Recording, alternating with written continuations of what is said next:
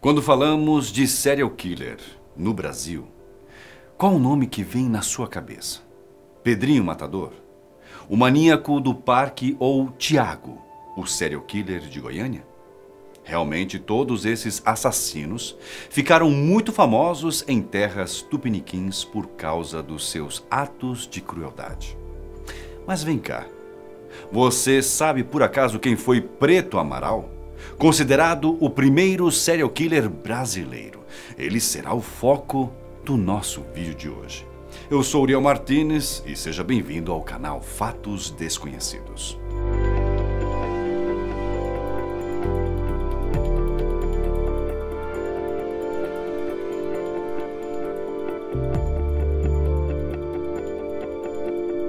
José Augusto do Amaral nasceu na cidade de Conquista, no estado de Minas Gerais, no dia 15 de agosto de 1871.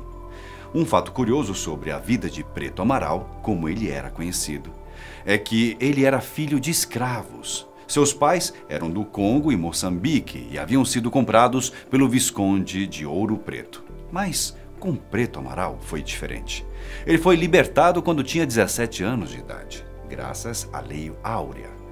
Sendo um homem livre, Preto Amaral foi voluntário da Força Pública do Estado de São Paulo, porém, não demorou muito para ele se tornar um desertor. Além de ter se tornado desertor no estado de São Paulo, Preto Amaral fez exatamente o mesmo na Brigada Policial do Rio Grande do Sul, Grupo de Artilharia Pesada em Bagé, Regimento de Infantaria de Porto Alegre e no 13º Regimento de Cavalaria do Rio de Janeiro.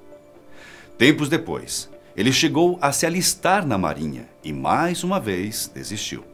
Junto a esse histórico de desertor de Preto Amaral, acompanhavam ainda algumas passagens pela polícia. Eram três prisões por vadiagem em São Paulo entre os anos de 1920 e 21. Em Bauru e Santos, ele foi preso por vagabundagem e em 1922 ele foi detido em São Paulo por furto. Pelo que podemos ver, Preto Amaral tinha tudo para ter seguido uma carreira militar. As oportunidades não faltaram, mas o crime parecia chamar muito mais a atenção deste homem, correto? Bom, antes de vocês tirarem suas próprias conclusões sobre Preto Amaral, eu preciso deixar uma coisa bem clara. Quando ele foi preso por vadiagem e vagabundagem, era uma época onde o Brasil ainda convivia com os resquícios da escravatura. Por isso, era bem comum ver negros sendo presos por esses tipos de motivos. Eles não conseguiam arrumar empregos e viviam de pequenos serviços. Preto Amaral tinha alguns antecedentes criminais por práticas que, na época, eram considerados como crimes. Ou seja, se fosse nos dias atuais, ele seria acusado apenas pelo furto cometido em São Paulo. Até que começaram a descobrir alguns assassinatos na cidade de São Paulo. O primeiro crime de Preto Amaral aconteceu no dia 13 de fevereiro de 1926. Um menino chamado Roque Piscilo, que tinha entre 9 e 10 anos, e que trabalhava como engraxate na praça de Concórdia, no bairro Brás. Nesse dia, uma garoa caía lentamente nas ruas de São Paulo, o que atrapalhava o trabalho de Rock. Foi quando um homem alto, negro, se aproximou de Rock e pediu para que ele o ajudasse a carregar algumas caixas. Rock, precisando de dinheiro, não pensou duas vezes e topou a ajudar o homem para ganhar alguns trocados. O garoto então recolheu suas coisas e acompanhou o homem. A noite vinha chegando e quando o Rock e o homem entraram em uma rua mal iluminada, o garoto então sentiu que havia alguma coisa errada. Entretanto, não houve tempo para que Rock pudesse pensar no que este homem poderia fazer com ele. Então ele atacou o garoto, pegou pelo pescoço e o estrangulou. Rock se debateu. Tentou escapar das garras do criminoso, mas sem sucesso. Quando Rock desmaiou, o homem o levou para debaixo de uma ponte, rasgou suas roupas e o estuprou. Depois de cometer esse crime, o homem foi embora rapidamente para não ser pego em flagrante, deixando o garoto Rock violentado e supostamente morto. Porém, O que este criminoso, no caso Preto Amaral, não sabia era que Roque não estava morto. Ele acordou um tempo depois de ser violentado. Estava bem assustado e muito machucado. Ele logo pediu ajuda a duas pessoas que estavam passando pela rua e que levaram ele para casa. O curioso é que Roque e sua família ficaram com muito medo e resolveram não dar queixa na polícia. Esse, caros amigos e amigas, foi o primeiro crime cometido por Preto Amaral. Meses depois, exatamente no dia 5 de dezembro de 1926, chegava a hora de ele pegar a sua segunda vítima. Naquele dia, enquanto descansava debaixo de umas árvores na Avenida Tiradentes, um jovem chamado Antônio Sanches, de 27 anos de idade, matutava em como conseguir alguns trocados para comer naquele dia. Sanches era do interior do estado de São Paulo e tinha ido morar na capital em busca de novas oportunidades. Sanches era bem magrinho e aparentava ser homossexual. Morando na Lapa, ele mal conseguia pagar seu aluguel e, frequentemente, não tinha o que comer. Foi quando Preto Amaral o abordou e ofereceu então um cigarro. Os dois começaram a conversar como duas pessoas que estavam ali se conhecendo. Papo vai, papo vem. Preto Amaral fez um convite para Sanches um tanto inusitado. Depois da refeição, Sanches estava muito feliz, até porque ele tinha ganhado um almoço e um novo amigo. Preto Amaral, usando da mesma estratégia que tinha usado com o menino Roque, chamou Sanches para ajudar em um serviço para que ele pudesse ganhar alguns trocados. Os dois foram até o aeroporto Campo de Marte e ali Preto Amaral cometeu seu segundo crime. O mais assustador nos casos desse assassino é que, além de matar, Preto Amaral gostava de cometer necrofilia. Ele então estrangulou sua segunda vítima, se certificou que ele realmente estava morto e então violentou o corpo. Com isso, Preto Amaral cometia seu segundo assassinato e já podia ser então considerado um serial killer. Passados uns dias, era véspera de Natal. As famílias se reuniam para celebrar a data, mas para o garoto José Felipe de Carvalho, de apenas 12 anos de idade, as coisas seriam diferentes. Na tarde do dia 24 de dezembro de 1926, Felipe brincava nas ruas do bairro Alto do Paris. Ele gostava de caçar passarinhos com seu estilingue, brincadeira comum entre os meninos da época. Pouco mais tarde, Felipe pediu à mãe para ir à missa de Natal na Igreja Santo Antônio. Muito orgulhosa da religiosidade do seu filho, a mãe deu permissão para ele ir à missa. Naquele tempo, a cidade de São Paulo era bem tranquila, as crianças brincavam pelas ruas e não havia a quantidade de crimes que existe hoje. Nesse dia, caía chuva na cidade. Enquanto Felipe caminhava até a igreja de Santo Antônio, ele viu um homem vendendo balões de gás próximo ao Canindé.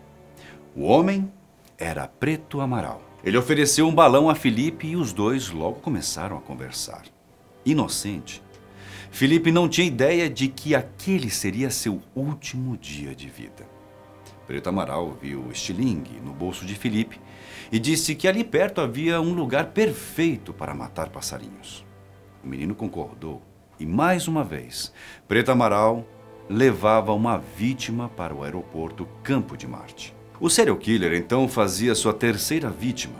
Ele o estrangulou e depois o violentou. Horas depois, a mãe de Felipe saiu desesperada para procurar o menino, mas era tarde demais. Dias depois, a polícia encontrou os corpos dos meninos e concluiu que havia um assassino andando pelas ruas de São Paulo. A quarta vítima de Preto Amaral se chamava Antônio Lemes e tinha 15 anos de idade. Ele era operário de uma fábrica de tecidos e no dia 1 de janeiro de 1927, Antônio pediu à mãe para que guardasse o almoço, pois ele chegaria mais tarde. Enquanto brincava com seus colegas perto do Mercado Central, Antônio foi avistado por Preto Amaral, mais uma vez. O serial killer convidava um garoto para almoçar. Os dois comeram, beberam vinho e Amaral ofereceu ao garoto uma quantia de dinheiro para fazer um serviço. Antônio aceitou. E assim como as outras vítimas, também aceitou sua sentença de morte. Os dois pegaram um bonde para a Penha e no ponto final da linha desceram e foram caminhando até a estrada de São Miguel. Ao caminharem em uma estrada recém-construída, Preto Amaral estrangulou Antônio Lemes e o desmaiou.